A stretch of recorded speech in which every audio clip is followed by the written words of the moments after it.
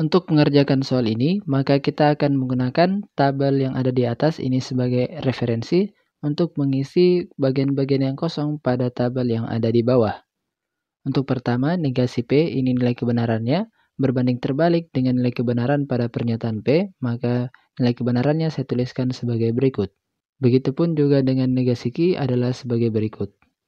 Nah, selanjutnya di sini pernyataan negasi P atau negasi Q yang di mana untuk ekspresi atau itu akan bernilai salah hanya ketika kedua pernyataan ini sama-sama bernilai salah.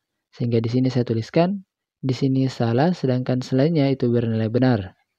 Nah, dan yang terakhir kita akan menggunakan tanda biimplikasi yang di mana pernyataan pertama adalah yang ini dan pernyataan kedua adalah key. Nah, tanda biimplikasi ini akan bernilai benar jika tanda kebenaran atau nilai kebenaran dari kedua pernyataan itu sama. Maka di sini kita lihat yang bernilai benar adalah ini, yang bagian ketiga dan yang sisanya itu bernilai salah. Oke teman-teman, cukup mudah bukan? Sampai jumpa di soal selanjutnya.